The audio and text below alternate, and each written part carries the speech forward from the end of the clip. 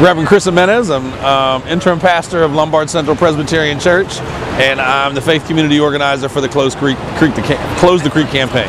And why is Close the Creek campaign so important to you? One, because I'm a formerly incarcerated person. Uh, I've been home now a little over 23 years and off, supervision for 19 years. And basically, this campaign means something to me because I was a resident of Close the Creek at one time, you know, and of, of, of the Creek of House Corrections at one time when it was falling apart then 20 years ago, over 20 years ago, and it's still falling apart even more now.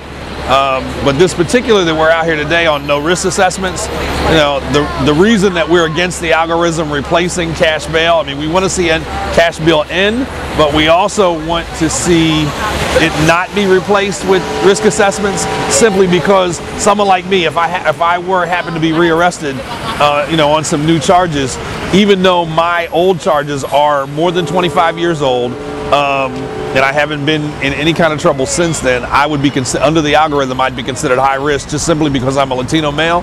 I live in Southwest Philly, which is a high crime neighborhood, and uh, you know I'm formerly incarcerated. So I would be at high risk under the system, and probably no matter what the charge is, I probably would not be released, you know, on on on bail or on my own recognizance. And that's a problem. Yeah, that's a definite problem. That's going to add to mass incarceration.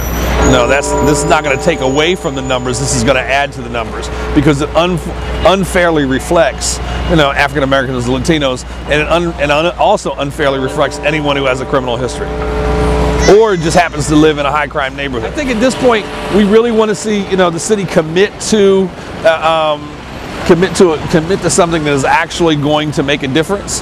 You know, we, we already know that they're they're looking at like this like the California bill and um, that was just passed that's going to add a lot more to the incarceration system than uh, you know into the prison system that are that are in there now. Um, even though they want to call it a progressive win for you know for um, for ending cash bail, but as much reform as we're doing, we want to see individuals, you know, be able to have a fair shot at a, at, at a defense. And you cannot prepare for your own defense on the inside.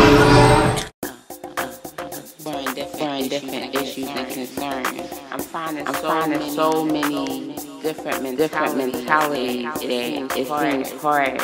It seems it seems challenging. I don't say hard. because the only thing hard. is the concrete that we walk on. Everything else is a challenge. Um, um,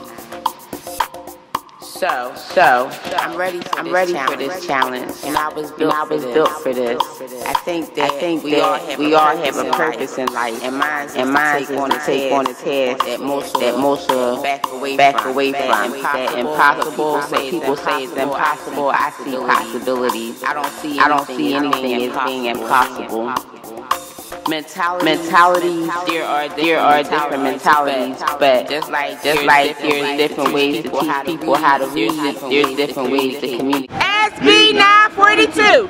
SB 942. SB 942.